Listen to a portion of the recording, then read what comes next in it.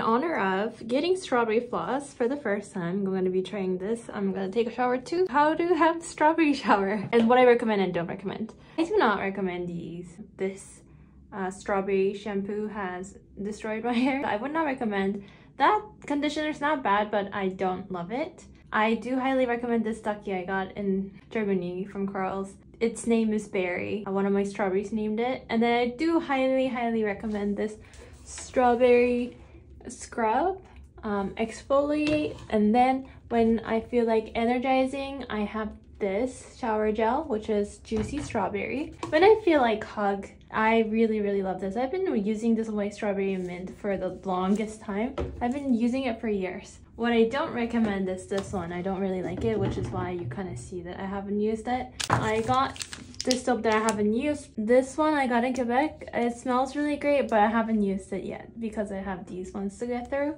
But I will be looking forward to this. I'll probably repurchase this again because I've been doing that, but maybe one of these days I'll use this instead of those. But they're so different. Uh, maybe I'll just start using it. Why save when you can have three different strawberry options? So these I recommend. That I don't recommend. I also recommend this strawberry shower cap because it's strawberry and it's shower cap.